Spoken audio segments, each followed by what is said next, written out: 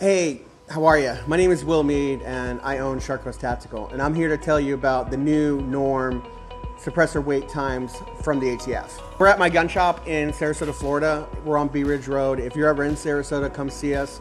We've been doing suppressors for oh, 13 years since we opened back in 2011. It's a wonderful thing what's happening right now with um, suppressor wait times. So if you didn't know, about four weeks ago, suppressor wait times just started exploding, if you will, in quickness.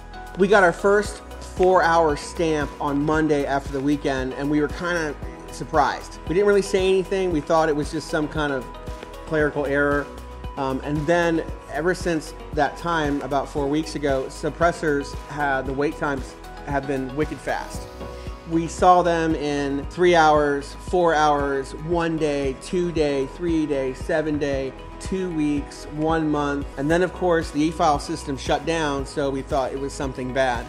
And then, lo and behold, when the e-file system opened back up after four days, and the stamps continued to fly. The ATF had a town hall meeting on Friday, and what the ATF said in the town hall meeting is the fast suppressor wait times or NFA wait times is the new norm, meaning that for most people, you're going to have your wait time on an NFA stamp be between three to seven days. What we are seeing right now, and we move a lot of cans, is we're seeing times at three days, meaning we will sell a suppressor on Friday and then we will get the stamp back on Monday. That seems to be the new norm, just like the ATF was talking about. Now, um, we don't know, of course, if this will stay, and we hope that it will, but it's, it's really neat, and people people are buying boatloads of suppressors. What was said in the ATF town hall was it was pretty interesting. Um, first off, one lady came up and said that she was pretty comfortable with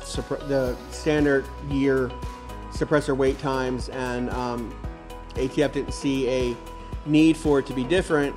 But then another guy popped in and said, "Hey, I, I had this idea." Of changing the system around, and this is what I did. So traditionally, what the ATF would do was if you had somebody who had a funky background check, like a, something which would cause a delay in the NICS system, picture a line of 8,000 people who are buying suppressors.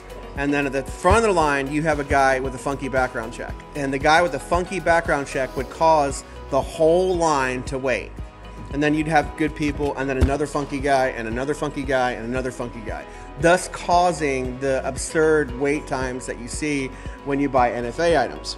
So, what this guy from the ATF had, his idea was let's just move the people from the funky people, the problem people from the line and move them to their own line. And thus the fast wait times was born. The guy who was speaking was real positive and seemed pretty cool. The result is is these absurd fast wait times.